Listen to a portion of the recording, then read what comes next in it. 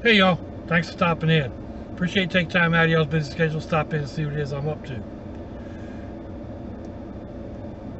This is the second time I am pouring paint, pouring paint um, onto rocks. This time I'm using a pouring medium and uh, there are all kinds of ways to pour paint kind of goes without saying, but uh, what I am doing is just using individual colors and mixing them on top of the rock. Some people will do uh, put paint into into a cup or a container and then pour it, which is where the pouring comes from. Um, sort of kind of the same effect, not really. I'm going to be doing one of those type eventually. Uh, if it clears up enough today, I may actually go out and prime some rocks, but I think they're all going to be too wet. So, anyway, let's uh, go see what I'm talking about. Alrighty, let's try this again. We have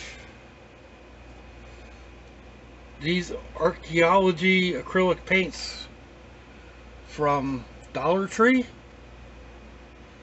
Red, white, blue, white, and red. Red, white, blue. This time I have them mixed with the Sargent pouring medium, also from Dollar Tree. And each one of them got about a third of that bottle and it was right there at the shoulder. So we're going to try this on painted rocks these have been painted with uh, Rust-Oleum uh, semi-gloss white. So we'll start out with the white.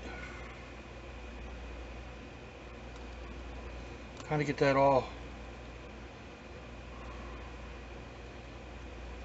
get it pretty well drenched.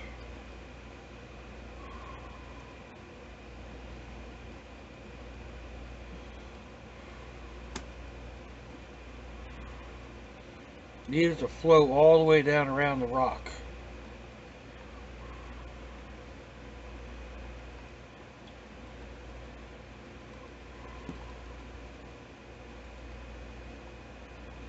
Like so. Take some of the red.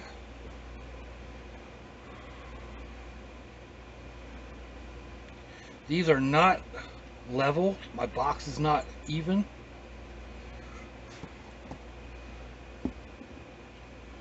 We'll go with some of the blue.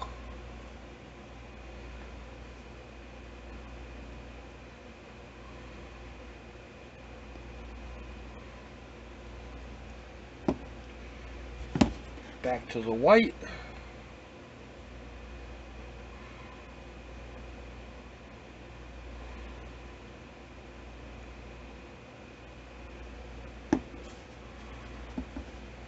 Back to red.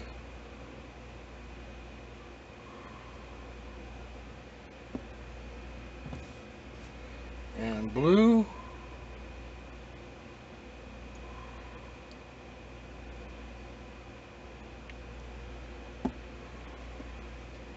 Back to white again.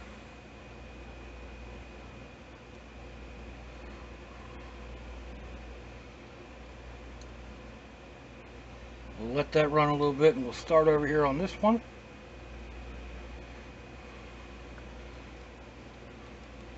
I made up quite a bit of white. I may have to go back and make more.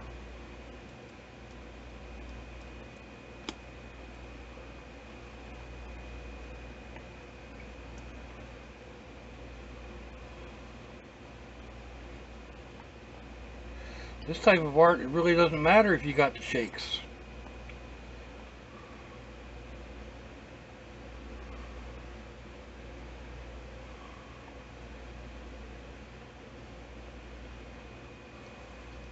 Tremors may actually help a little bit. Let's go with blue this time.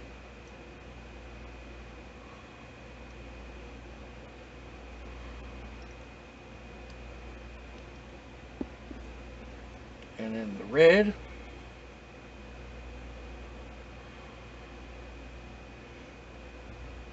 There's all different ways you can do this.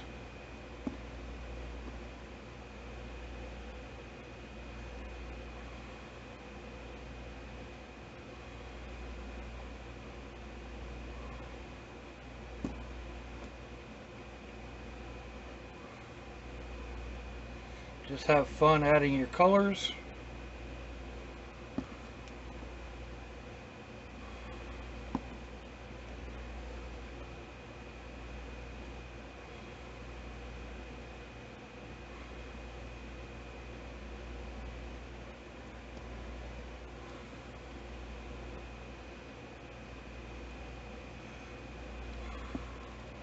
Knowing when enough is enough is always a problem.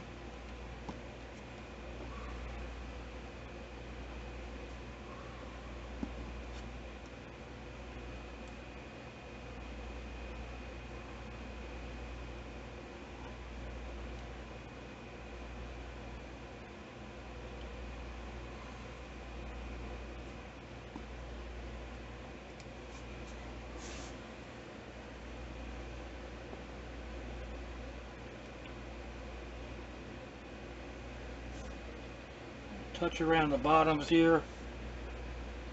Make sure it's flowing down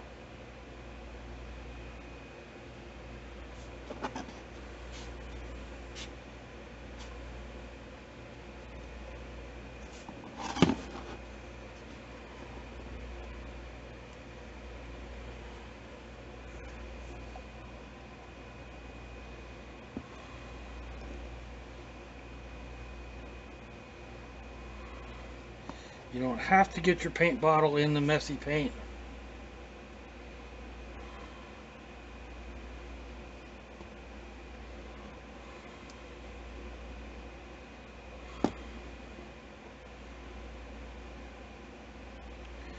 You can wear gloves. uh, see what do I want over here? A little blue.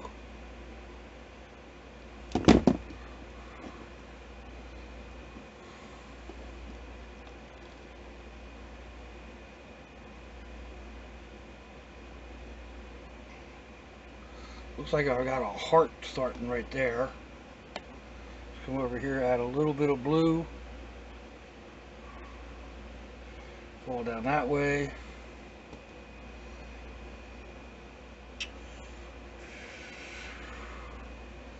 Maybe a little bit of white over here.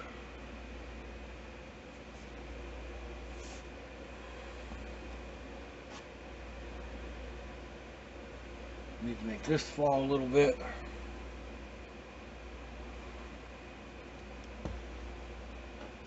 It's not getting on the edge.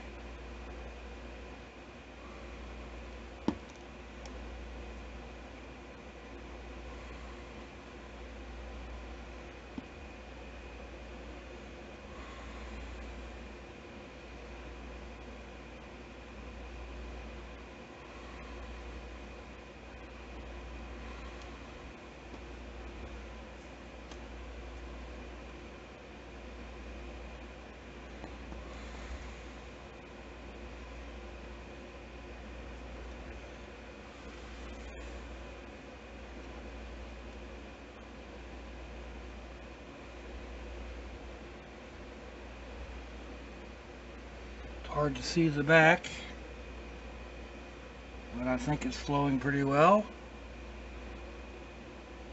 And we're going to walk away from this for a little bit and come back when it dries somewhat. Alrighty these dried a lot nicer. Kind of look like mushrooms sitting on top of them cups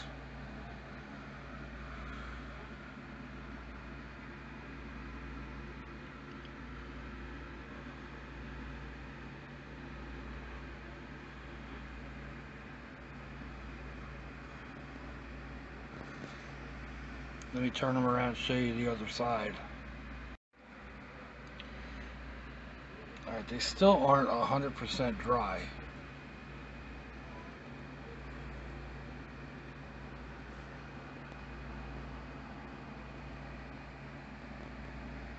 I may have to come in and touch up a little bit.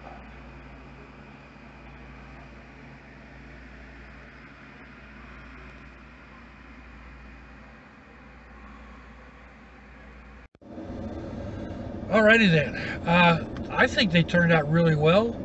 Um, they're pretty. They're pretty glossy, the way they are. I'll probably try to uh, spray them with a with a clear gloss, just to make them pop a little bit more. But yeah, I'm pretty happy with those. It took them quite a while to, to dry, and there are a few spots where where it's not as glossy as others. I don't know why, but anyway, let me know what you think, folks. Give me a thumbs down or thumbs up. Leave me a comment wherever it is y'all leave comments on your internet access device of choice. If you'd like to share me around your social media, that'd be fandoculous. Excuse me. Go check me out on Facebook or Instagram. Have links wherever that is on your device of choice. You'll also find links to similar videos, related videos, unrelated videos.